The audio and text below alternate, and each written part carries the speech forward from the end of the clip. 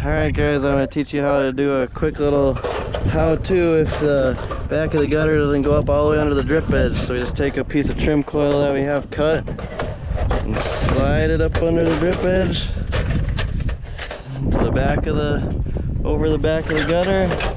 Pretty much just make an extended drip edge.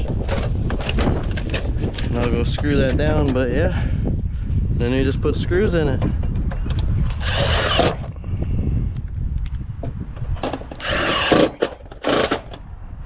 And there you guys have it.